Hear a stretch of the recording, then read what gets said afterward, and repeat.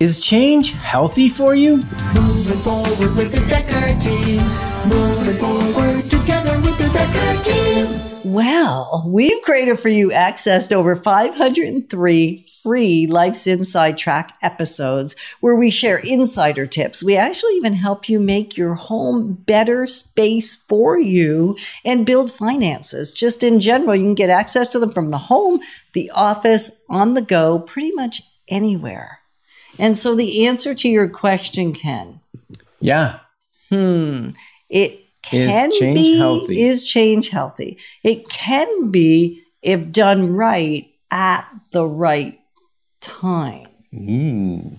So, in this episode, what you'll learn is really how to determine if it's the right time or the right situation for you to make a change in your address. And the reason we're highlighting that is because over the last 32 years of helping families navigate change, what we've observed is sometimes when friends are making a move, people get the bug to make the move, and it's the wrong time. It just creates chaos.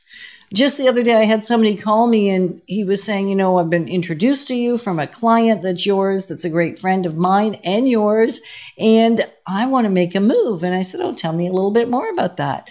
And he went on to share about a major health challenge that he's having, and he no longer enjoys where he's living. And all I could think was, Are you sure? Are you like really sure that in the middle of a major health crisis, it's the right time to make a move? Well, I hate where I live. Okay, well, how long have you lived there? Like, if you hate it, it must have been a short move or like you've just gotten there and it just didn't work for you and somebody sold you something you shouldn't have bought, or that's what's running through my head. And he goes, Oh, I've been here 30 years. And my heart hurt for him. Little slow to decide if it's the wrong house or not, the Well, wrong location. Yeah, but I don't think that's what it is. I when think it's we're going through duress in Mm-hmm. one area of our life, sometimes we can get dissatisfied with the rest of our life. And although it's not my decision to make, it is my position or my place to ask some good, solid questions. Yeah, because it's interesting, right? They say that moving Mm-hmm. is like the third biggest stressor that people can have in their life. Right. And so adding that to an already really stressful situation, unless it's paramount. Now, take another client that called and said, you know, I need to make a move because the finances are upside down. We're getting worse every month, and the bank is going to end up taking our house away. We we hmm. we've had a lot of changes due to the current season and situation. And so now the income we had we don't have and the decisions we made were fantastic for then they're not great for today. Well in that case it's kind of like well the sooner we can make that move the better and let's do certain things to make sure we're doing it right. Yeah, and that's a good point. They said that the bank may start to take it. It's interesting. I was mm-hmm. talking to one of our agents, mm-hmm. and he does a lot of power of sale business with the banks. And there are 75 files waiting to go to court. And the banks were just waiting for COVID to settle down a bit because it looked really bad to kick someone out of their home mm-hmm. during COVID if maybe they lost their job or whatever. But he's got that's like four times the normal amount of files that are going into court now to have those people removed from their home and sell it under power of sale.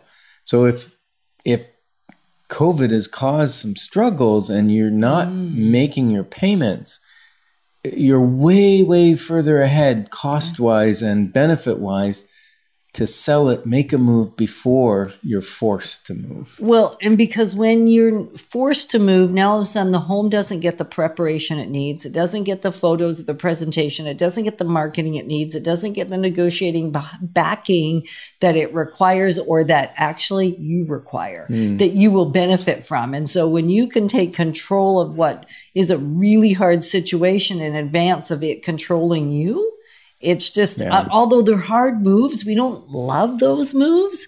And yet I do love it. What I said to one of my clients just the other day was, although this is a really hard situation that you're in, and it's awful. It is so wonderful, and I'm so grateful that I get to be the one navigating it with you. That I get to be here coming alongside you because I know I'm going to do the utmost for you mm. that I possibly can. And she just looked back Yeah. at me and said, That's what we think too. Like, we're thrilled that we don't have to go it with somebody that doesn't already trust us and know us and be part of our lives. Yeah, that's beautiful. And you know what? Sometimes it's spontaneous. spontaneous like Combustion. combustion. it's like they walk into an open house or a builder's model and suddenly they're just smitten with the nice decorating, with the the upgrades, the clean. clean. The, there's no there's no uh, There's no- clutter. Fingerprints on stuff. yeah, It's beautiful. the reason they love it is all their stuff's not in that house. It's got all brand new furniture and it just looks great. So you can get that desire for something new. That is okay. Because what it actually does is it detaches you from your existing property. Because it's even if you should be moving, it's difficult to mm. decide to move when you don't have somewhere else to move to. Oh, that's one of the challenges in this market, right? Because there's on average, depending on where you are and what type of house and price range, but there's really been for the last many, many months about one month's of inventory available at any one time. Well, sometimes it's been one week. I know, but for the most part, it's been one, 1.2, 1.5, depending on the price range. And sometimes it's been a week of inventory. So there's been little inventory available at any one given moment. Which even and if it's the right time to move makes it difficult to move. Mm-hmm. But we navigate that. And we help people find the right property before they sell their home. So they're not homeless. That's com- more common today than it has been in the past, right? Mm-hmm. And yet, that's not right for everybody. There is not a one size fits all strategy or solution for making a move the right way or at the right time. Right. So some of the reasons that somebody may it may be the right thing in the right time to move, uh, too much maintenance, too much land, too little land. What else? Well, too much commute or not enough space because you're not commuting anymore, like inside or outside. Okay, so too large a house, you know, maybe people have moved out. Maybe it's too small. Maybe the kids have moved back because they lost their jobs due to COVID. Or they're not in university anymore. And so you thought you were empty nesters, and now there's four university students that are back living in your Uh, space. yes, because they're doing they're doing courses online instead of in person.